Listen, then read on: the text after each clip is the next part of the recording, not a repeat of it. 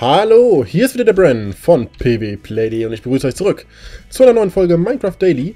Und wir haben ja beim letzten Mal unseren Pferdestall gebaut und müssten jetzt nochmal ein paar Steine besorgen und das werden wir auch heute tun. Ich glaube, wir sind... Ne, in den Gang sind wir nicht, wir sind in den Gang reingegangen, ne? Genau. Mit, äh... Uh, mit... Ah, hier ist Kohle. Nehmen wir mal mit. Ich weiß, ich wollte nicht mehr alle mitnehmen, aber die mündet sowieso im zweiten Gang dann. Also im Nachbargang. Machen wir hier den auch noch weg. Und den. Und den. Da wird mich nachher der Gang dann eh weitergezogen. So. Ui.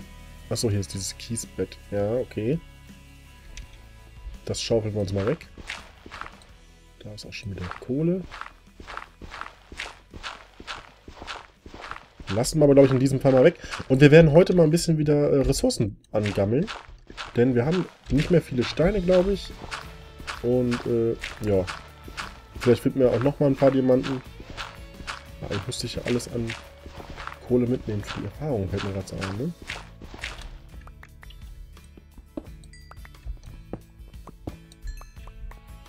Hm, das war üppig.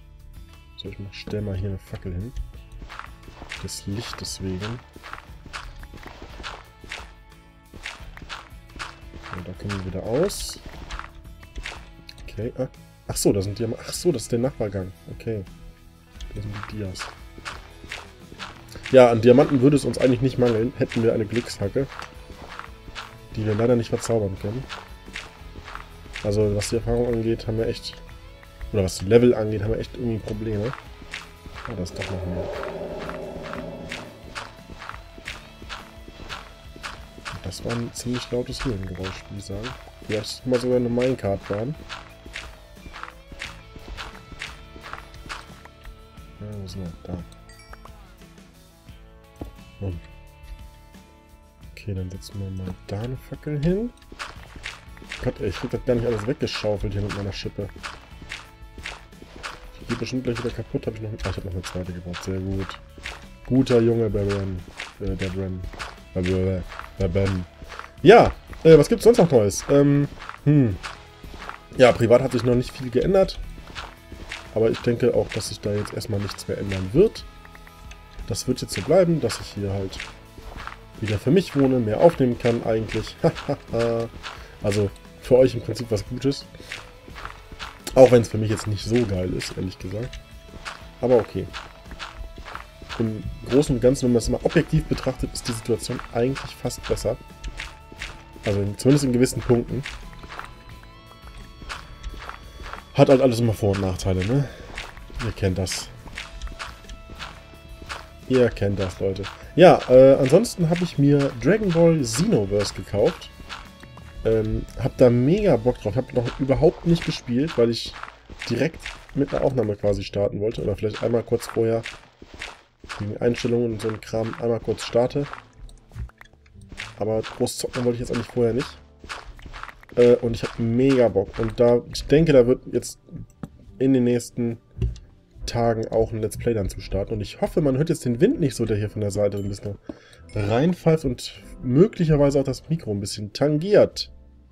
Ich muss hier ein bisschen gegenreden. Ich kann es jetzt leider nicht zumachen, weil ich dafür aufstehen müsste. Ich habe mich gerade schon verrenkt und mal geguckt, aber das wird nix. So, Jetzt würde ich mal gern wissen. Ist das jetzt der Diagang? Ja. Ach, hier, hier bin ich auch. Nee, Moment. Hier wäre der Gang, okay.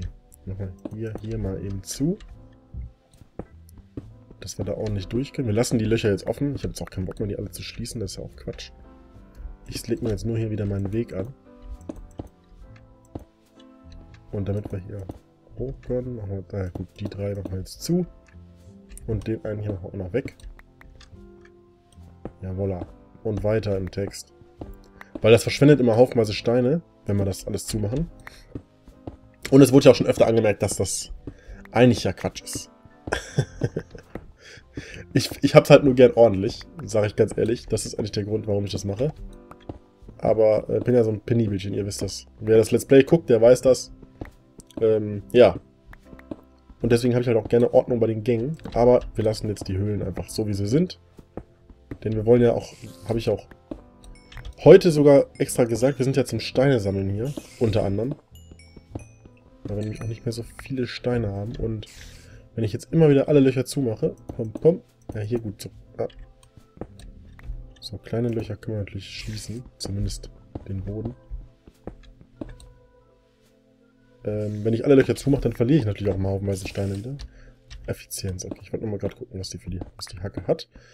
Und das können wir glücklicherweise, wenn ich jetzt hier mal rauskolle, Effizienz 2. Da seht ihr das schon. Eisenhacke mit Effizienz 2. Ist nicht fett, aber besser als gar nichts.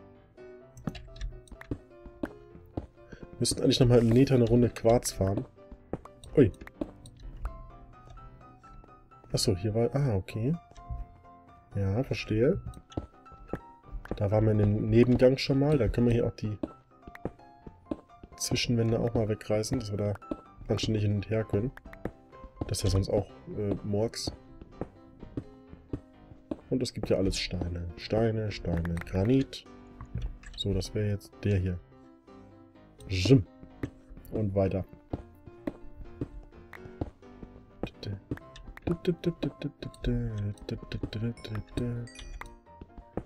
Ach, ist das eine schöne Musik, ey. Hab ich echt eine gute Sache ausgesucht, ne? Oh, der war zu viel eigentlich, aber ist egal. Zack. Ja, äh, was... Ach, habe ich noch gar nicht erzählt, ne? Das seht ihr schon längst. Oben rechts natürlich. Sechs Minuten... Oh. Das ist hier hinüber die Hacke. Nehmen wir mal die Standardeisenhacke hier. Ähm, oben rechts seht ihr jetzt die Karte. Ja, und zwar habe ich die äh, eigentlich fürs Village aktiviert. Fürs äh, Let's Play Together. Minecraft The Village. Wo jetzt auch, wo ich gleich wahrscheinlich was alleine aufnehmen will. Damit was kommt. Äh, heute ist zwar geplant, den Enderdrachen zu legen, aber ich weiß noch nicht, ob ich da sicher mit bin. Oder mit kann. Von wegen mir aus. Vom Dorf her könnte ich da hin. Ähm, ja, und wie gesagt, da habe ich die Karte aktiviert und man kann das leider nicht separat machen. Das ist halt für die Mod die Einstellung und nicht irgendwie getrennt pro Welt oder was weiß ich. Und deswegen lasse ich die jetzt einfach auch an. Es ist nicht so eine große Hilfe, ich habe den Radar ausgestellt. Also wer, wer Voxel Map kennt, ups, das ist einmal die Weltkarte übrigens auch. Äh, wer Voxel Map kennt, ich zeige das mal kurz, gibt es so ein Radar und zwar kann man den anschalten. Und hier kann man es schon ganz leicht sehen. Nochmal kurz äh, zurück. Mach die Karte mal groß. Hier.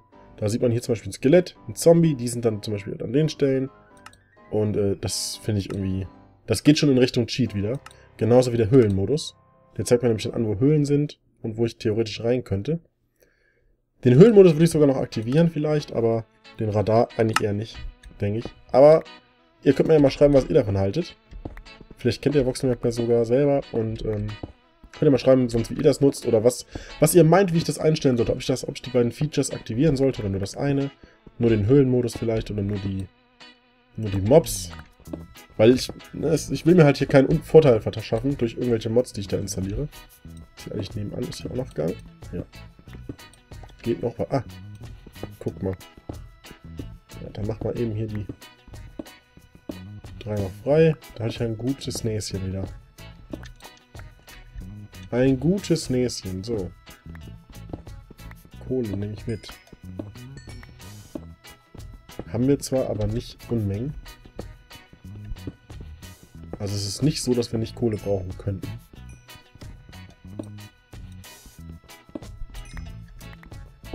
Ja, ist ein bisschen dunkel hier, ne? Da mal eine Fackel eben hin. Oh, Gold, nice. Nehme ich auch gerne mit.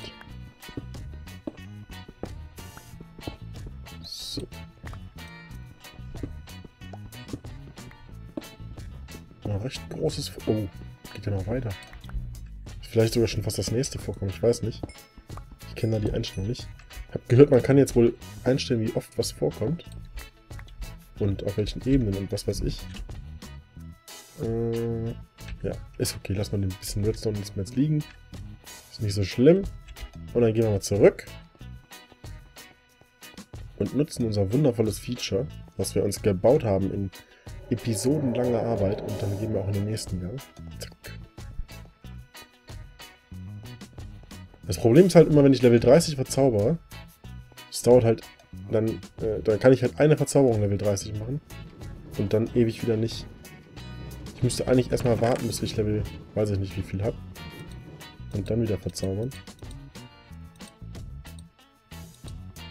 So, halbes Steine-Stack behalten wir mal. Der Rest kommt weg. Ah, Moment, hier. Zack. Und nochmal die Hälfte. So, ja, so können wir es machen. So können wir es machen. Hm, ich glaube, wir brauchen uns auch direkt nochmal zwei Eisenhacken. Weil die eine, nämlich die wir jetzt gerade nutzen, die ist gleich kaputt. Und da. Obwohl, wir könnten mal ein bisschen weiter auch weggehen, oder? Wo wir farmen, ist ja total egal. Gehen wir einfach mal in irgendeinen Gang rein. Wir haben die Länge ja schon, schon vorangefertigt quasi. Ich glaube, ich sehe auch auf der Karte, ob Tag oder Nacht ist, ne? Oh. Ich muss aber mal gerade, ich muss mal gerade, eine Sache muss ich gerade mal gucken. Und zwar in der Steuerung. Ähm, Voxel Map, Zoom, Z. Ich weiß nicht. X-Ray-Mod habe ich auch, ja, benutze ich aber hier zumindest nicht. Und auch im Village nicht. Ähm, habe ich in, in, in Offline-Welten benutzt, das schon mal. Habt ihr gerade gesehen, deswegen kann ich jetzt ruhig sagen. Bevor ich mich jetzt eine, eine fadenscheinige Ausrede verlasse. Nee, ähm, was wollte ich? Ach, Z, genau. Okay, das ist zu klein. Ja, lassen wir es so, ist gut. Steht da irgendwie dran. Ne, so lassen wir es. So ist das gut. Zoom-Faktor 1,0, ja, genau. Das ist okay. Da ist sie auch kaputt, die Hacke. Ja, ich weiß nicht. Vielleicht habt, habt ihr noch irgendwelche guten Ideen, wie man Erfahrungen sammeln kann oder Level sammeln kann? Fürs Verzaubern. Also wir könnten, wie gesagt, die Mobfarm, die funktioniert ja leider nicht. Wir könnten halt hingehen und ähm, das Spawner reinstellen. Dann ist das easy peasy. Mit der Erfahrung. Weil dann prügeln wir, gehen wir einfach dahin, prügeln die alle weg. Und dann ist gut.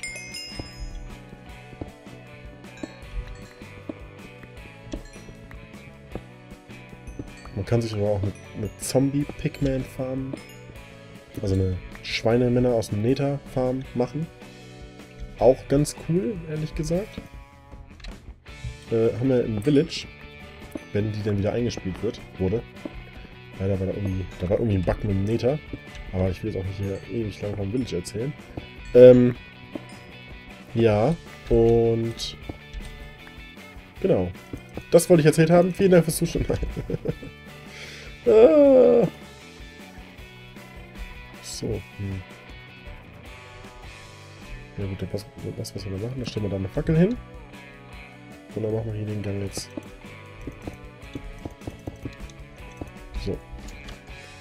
Und weiter. Ähm, ja, und die ist mega, äh, mega, mega, mega, mega, mega ähm, effizient. Da stellt man sich hin, irgendwie eine halbe Stunde, hat Level 80 oder so. Das ist also richtig gut. Und man muss nichts machen, außer einmal so einen Schweinemann mit einem Schneeball anschmeißen. Das ist im Prinzip schon alles, was man tun muss. Danach braucht man dann nur noch stehen. Ist das ein... Komisch irgendwie. Stein, naja. Hm. So, ist die Schaufel auch kaputt.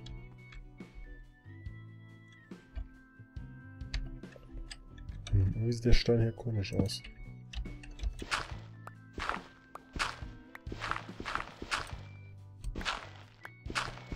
Kies brauchen wir ja auch immer für die Wege. Wir sollen ja auch noch, wird ja vorgeschlagen, dass wir noch viel, viel, viel mehr bauen. Also so, richtig, so eine richtige kleine Dorfanlage und da brauchen wir natürlich dann auch viele Wege. Marktplatz.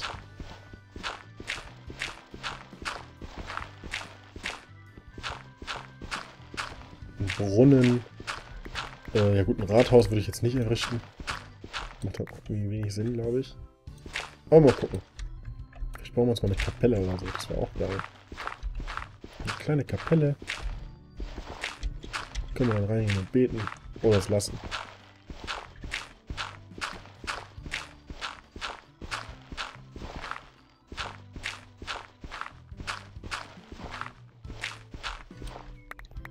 zack. Und ja, alles muss natürlich über Wege angeschlossen werden. Das ist doch klar.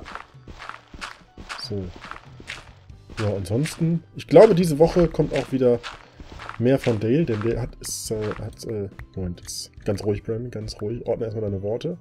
Äh, der hat seine Nachtschichtwoche beendet. Genau, das wollte ich gesagt haben. Komm, hier ist doch noch mehr Eisen. Hier kannst du mir jetzt nicht erzählen, dass hier nur ein Eisen ist. What the fuck? Oh. Scheint aber tatsächlich so, naja. Ähm, ja, Nachtschichtwoche beendet, wie gesagt. Und da müsste jetzt auch wieder mehr Zeit sein, um was zu machen.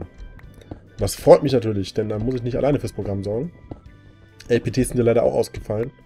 Zuletzt. Und ich, ich kann. Ich wollte dann immer, ich dachte dann immer, komm, nimmst du alleine zum Beispiel eine Folge Village auf, weil Creativerse spielen wir ja doch immer eigentlich zusammen. Und das ist auch eigentlich ganz gut so. Aber dann dachte ich, ja komm, machst du Village, okay. Cool. Und genau dann, wenn ich es auch nehmen wollte, war immer der Server weg. Kein Scherz. Ist äh, wirklich, ist keine Ausrede, ist wirklich wahr. Äh, weil er im Moment hat er viele, viele Probleme, der Server. Leider ist das so. Der gute Marder, der Server-Admin, Chef, Projektmanager, Master of Everything. Äh, der, äh, ach, na, sagt schon. Der hat da einiges zu tun im Moment. Und ja, schade. Deswegen muss es leider ausfallen. Ich hoffe aber, dass ich zunächst, wie gesagt, auch Dragon Ball Xenoverse dann bringen kann. Ich habe da mega Bock drauf und äh, wenn es cool ist, wenn es wirklich cool ist und wirklich Laune macht, dann kommt auf jeden Fall ein LP. Äh, ansonsten kommt auf jeden Fall ein Let's Test. Also ich nehme auf jeden Fall ein paar Folgen auf. Weil ich es nicht äh, ohne Let's Play wahrscheinlich zocken werde. Zumindest nicht äh, am Anfang. Und dann, ja, mal gucken. Ich bin gespannt. Also, ich habe mega Bock drauf. Und wenn es was kann, dann wird es wahrscheinlich nicht täglich kommen. Aber vielleicht dreimal die Woche auch. Oder jeden zweiten Tag. Mal schauen. Weil äh, das Minecraft Daily auf eine Dosis zu setzen, die nicht mehr Daily ist, ist irgendwie sinnfrei, glaube ich. Weil das heißt ja schon Minecraft Daily und dann wäre es ja nicht mehr Daily und naja, ihr wisst, was ich meine. Ihr versteht mich, Freunde.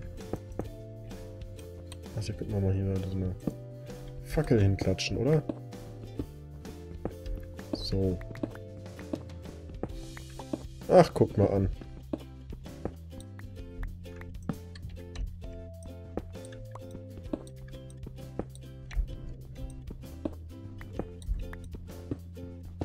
Endlich mal wieder Dias. Hat man jetzt tatsächlich aber auch lange nicht mehr.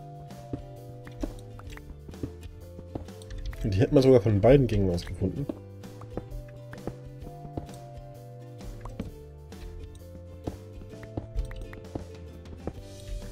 So. Sehr schön. Jetzt mit da mal die Fackel hin. Und gehen wir raus. Denn ich denke... Oh, wir sind da echt schon weit. Wir sind jetzt unterm Haus schon angekommen. Ich weiß jetzt nicht, wie viele Blöcke es waren, aber... Ist schon ganz... Nee, gar nicht wahr. Nicht unterm Haus, unter der Mobfarm. Unter der Mobfarm sind wir angekommen. So, Redstone-Steine, Diorit, Dinger, Dingels, Dangels, Dongels und Dingels. Und dann machen wir mal einen Abflug hier. Hüpp.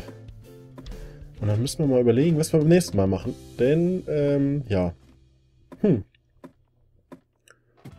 Mir fehlen ehrlich gesagt noch ein bisschen Ideen für die Bauwerke. Und deswegen habe ich auch gerne diese Farbenfolge hier mal eingebaut, obwohl ich ja Farben auch offscreen machen könnte. Das war ja jetzt nichts Spektakuläres. Aber okay. Grüß dich, Katze. So, und hier ist dann unsere Kiste, in der viel zu wenig Sachen sind.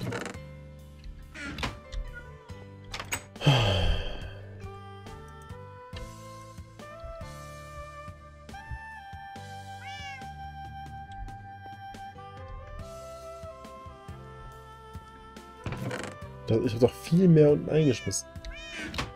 Wo ist der ganze Mist denn bitte?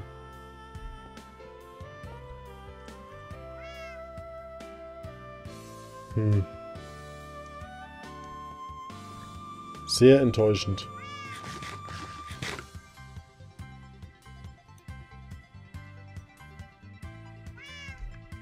Naja, ich werde mir das mal angucken. Ich hoffe, ihr seid beim nächsten Mal wieder dabei, wenn es wieder heißt Minecraft Daily mit dem Brennen und bis dahin alles Gute und tschüss!